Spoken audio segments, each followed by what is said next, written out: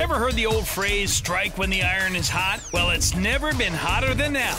All this month at Appalachian Wireless, you can get the Samsung GS6 or the GS6 Edge for just one penny when you send them for service. The Galaxy S6, normally $49.99, now just a penny. The Galaxy S6 Edge, normally $99.99, now just a penny. Strike now while supplies last. Better service, bigger savings. Serving you for the last 25 years at Appalachian Wireless.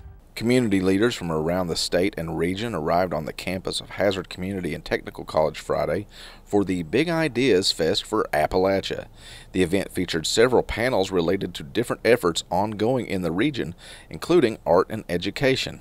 Another panel focused on technology and how it is changing the face of eastern Kentucky. First of all, technology is our future.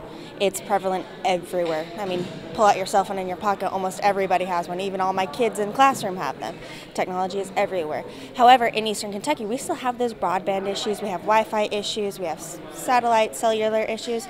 But we want to fix that. We want to bring industries here. We want to build that skill set for our students right now. So industry will come here, they'll build their corporations here, and we'll have that talent pool. No longer will the days be where we're sending our talent out of the state, out of the country.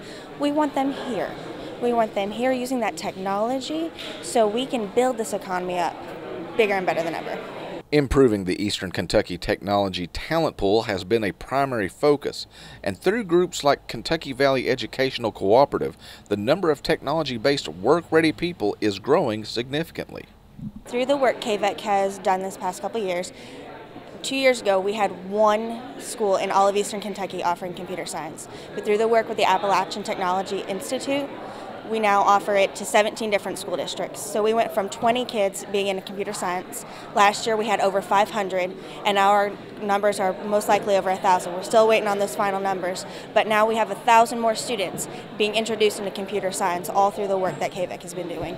For more information on KVEC and other technology based educational opportunities in Central Appalachia, visit their website at kentuckyvalley.org.